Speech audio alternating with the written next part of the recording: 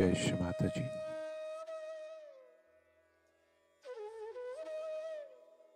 Let us all bow down to Shri Mataji. Raise our Mother Kundalini and put Bandhan.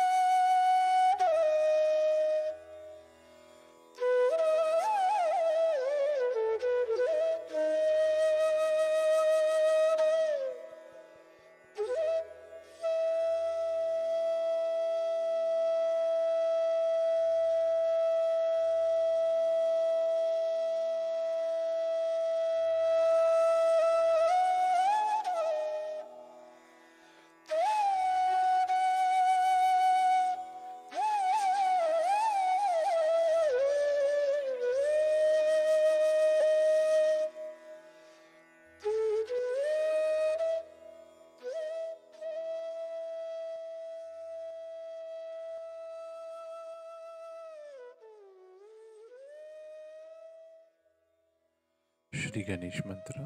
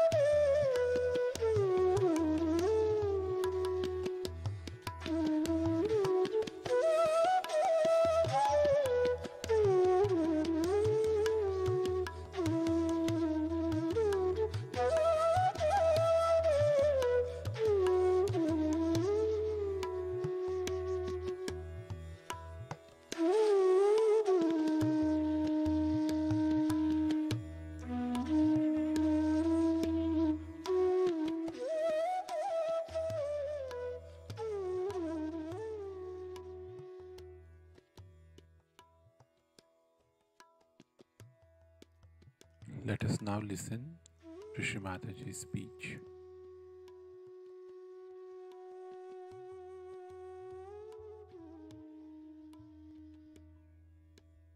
Do not allow your attention to get involved into something too. Even rituals of anything. Say now, we have not washed Mataji's feet. All right, doesn't matter. You love me, all right. If some mistakes are committed, what does it matter? If you see on the abstract plane, it's love. This is just a step forward. Like somebody ran very fast and fell down before reaching me. Say, mother, sorry, I fell down. Before reaching you, I should not have done that. But see how I prostrated before you. Is complete poetry, detachment.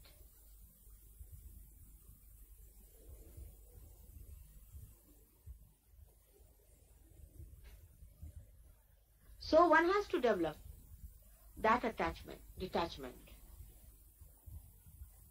to be a guru.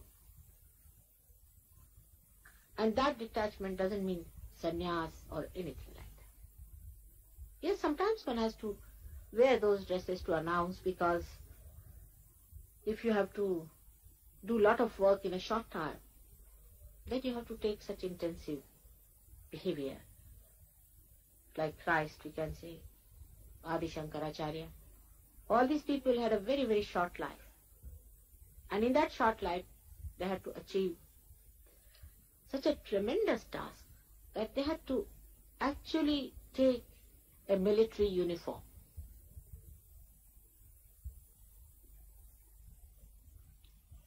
Just to avoid problems, not to impress others. Nowadays people wear that dress just to impress others that they are detached and do just the thing opposite of it.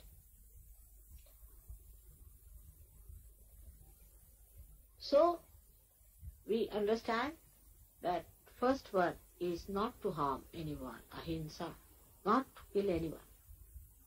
That doesn't mean that you shouldn't eat meat and fish and all that. That's all nonsense. Of course, I mean, you should not hanker after food. No doubt about it. You don't kill anyone, means you do not kill a human being. Thou shalt not kill.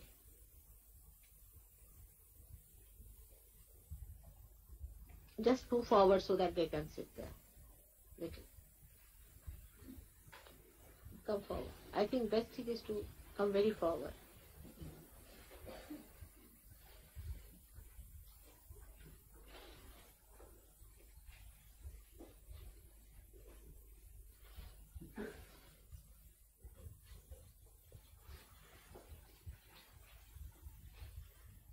So first thing is not to harm anyone. Second is to know that you have found the truth and give the testimony of the truth.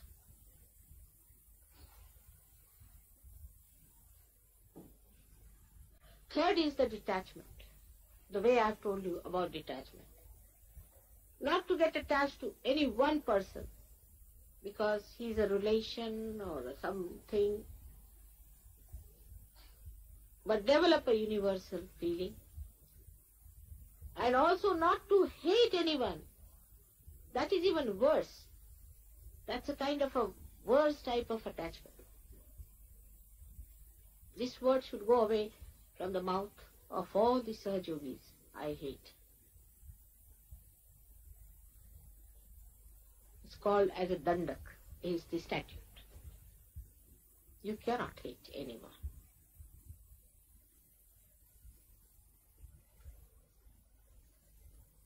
Even Rakshasas, better not hate, hate them. Give them a chance.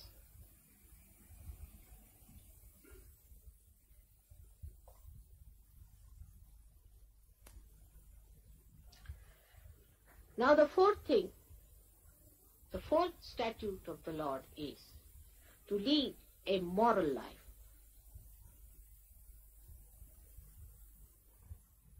These statutes were given by all the gurus. Take them from Socrates onward, Moses, Abraham, Dattatreya, Janaka, up to say Nanaka, Muhammad Sahib, and take up to the point where it was only about a hundred years back, you can say at the most, was Sainath.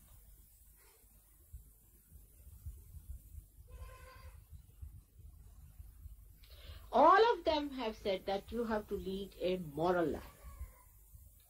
None of them have said that you do not get married, that you do not talk to your wife, that you have no relationship with your wife.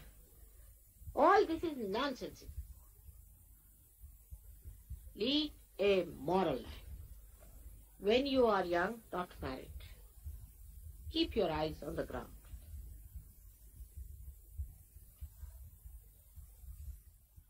Mother Earth gives you that innocence by which you develop that principle within you. It's very important principle. It's such a pure principle, it really helps the society to develop its dignity. Now think in a society where you do not know who is your sister, who is your brother, who is your mother. What complications it can create.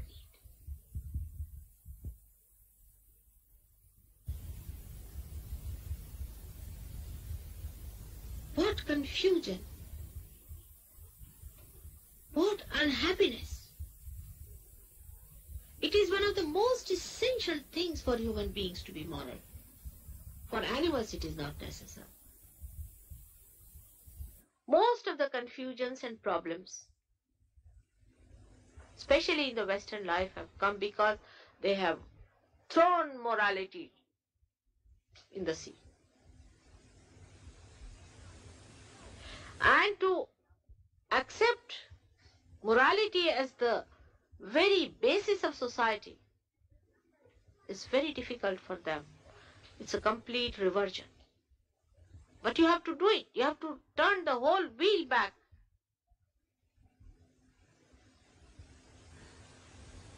So many things were done in the beginning of the society to establish this pure relationship.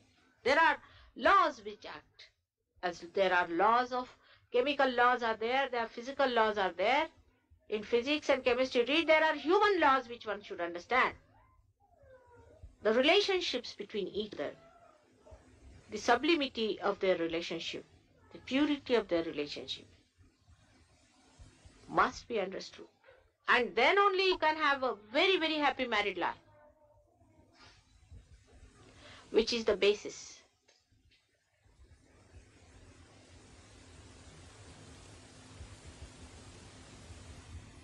Thou shalt not commit adultery.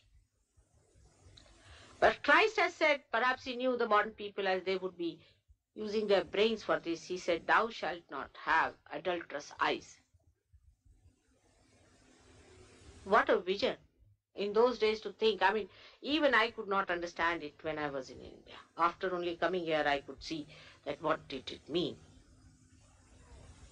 It's a possession on the eyes, possession. It's a joyless, useless behavior. It's tiring. Attention is frittered away completely. There's no dignity.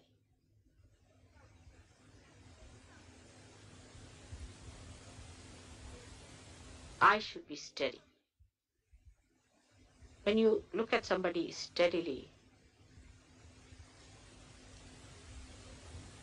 you should know that you have got Sergio by you.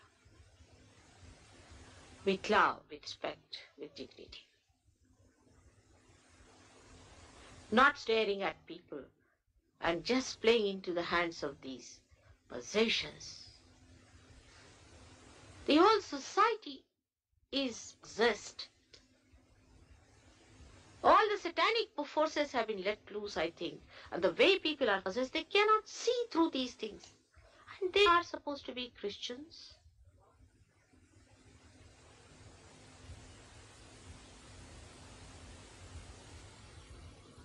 Attention is to be looked after.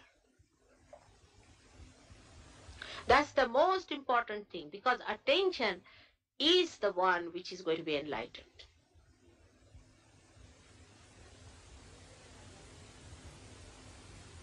So, we have to know what morality is. Let people laugh at us. Let them say that these are goody goodies or this sort of thing. We are. We are proud of it. We are not ashamed of being righteous people. This is a very important part of righteousness. Those who do not follow this will lose their vibrations very fast.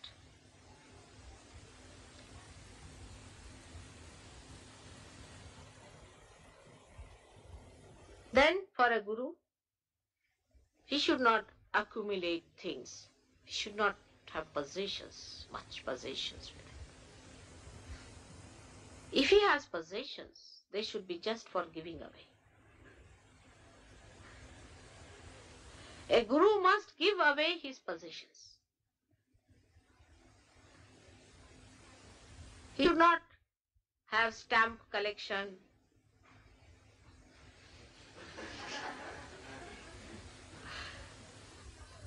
And all kinds of collections that people go on. Whatever things are useful, beautiful, which give happiness and joy to others, to their eyes. Such things must be collected.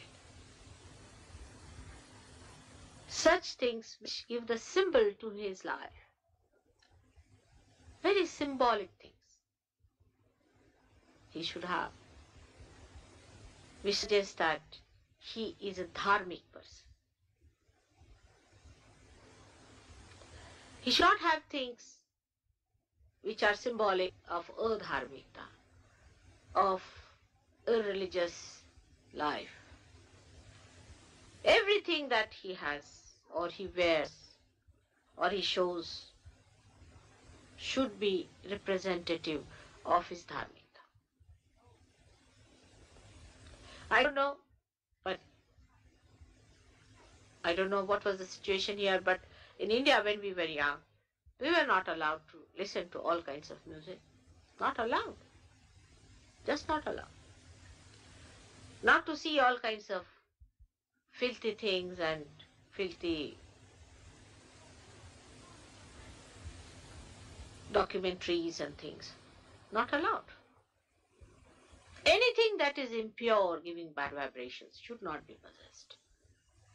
And even whatever you have, you should think wh- whom can you give this? So it means you should have possessions to express your generosity. Sahajogi has to be generous like the sea. A miserly Sahajogi, I cannot think of that. It is like mixing of darkness with light. Miserliness is not allowed in such Anybody whose mind goes, how much I can save money or save my labor. How there are many labor saving devices also and money saving devices or cheating others or making money out of certain few things here and there. All such things are against Sahaja Yoga. They will pull you down. Enjoy your generosity. How many times I must have told you about generosity? I remember once I wanted to give a sari that I had from uh, abroad. You see, because India people like that kind of a sari very much. No, I mean I don't understand why they like it. Nylon sort something. And a lady said that I haven't got any sari from outside and I would like to have an imported sari. And I had only one left with me because I am quite good at giving away. So I told one of my niece-in-laws, I said, I want to give away this sari to her. On a holy day, we can give it to elders, so I'll give it. She said, you have only one left now. Why do you want to give away? You have given away all that you had. I said, now I feel like giving, I'll give away. And we were discussing this in the kitchen, you see. But I said, why do you tell me? I'm not going to take your advice on this point. And at that time, the bell rang up and a gentleman came. He had brought tea saris for me from Africa. And one of them was exactly the same, the one I had. Because I had given some silk saris to this lady when she was going to Africa. She thought she should send me some saris, so she sent. You are just standing in the center. From one door it comes and the other door it goes. It's nice to see all that movement. It's very interesting. Apart from that, the way you give it, you see. The emotional side of it is so beautiful you can't. I met a lady after, say, 20 years of her married life in London suddenly. And she said, Oh, what a coincidence. I said, Why? You see, I'm wearing the same pearl necklace you had given me on my wedding day today, and I should meet you. I mean, the whole thing, the whole drama changed, you know, that meeting. I mean, it was nothing, nothing so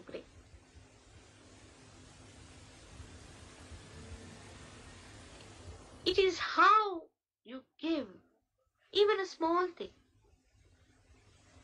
It's the greatest art of giving one has to learn in Sahaja.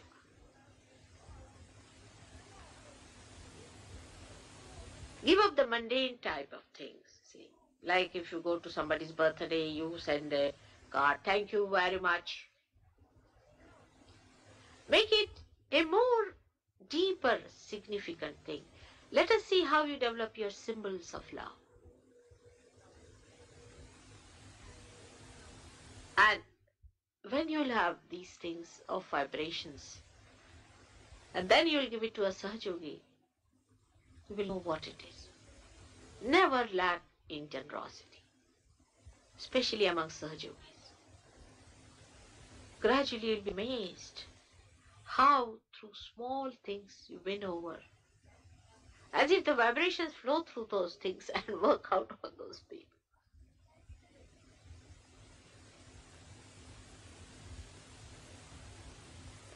Then for a Sahajogi, it is important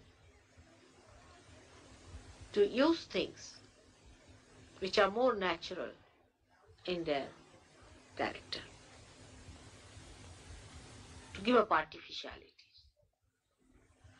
to be more natural. I don't say that you go and take the roots and eat them or you can eat the fish raw. I don't mean that. When going too far with things, always I must you must avoid. But try to lead a life which is more natural.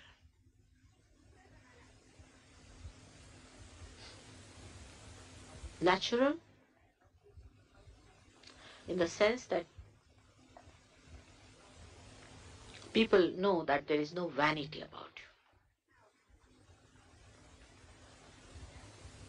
you. Or some people can be other way round, you see. They will dress up like a tramp just to attract more attention. I mean, they can both ways, you see. When I find some of the people, you see, coloring their hair and all that. Who is there? Let them come. Huh?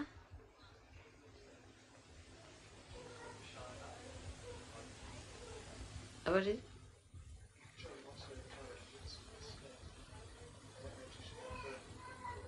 I didn't follow.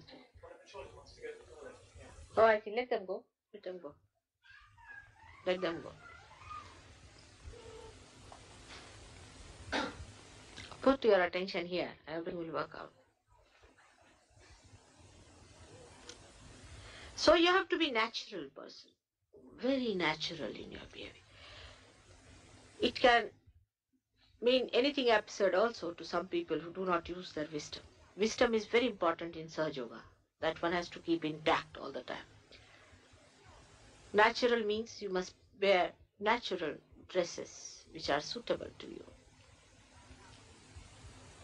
For example, in this climate, there is no need for you to wear dress like Rama used to wear.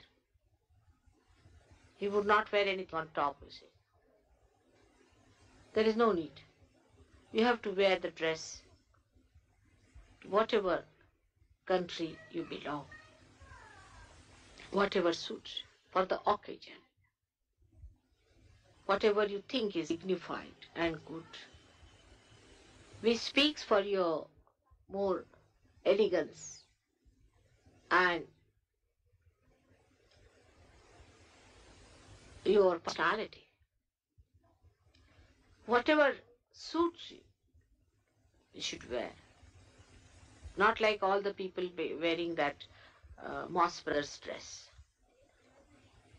In the grey suit, a horrible looking and absolutely making clowns out of them.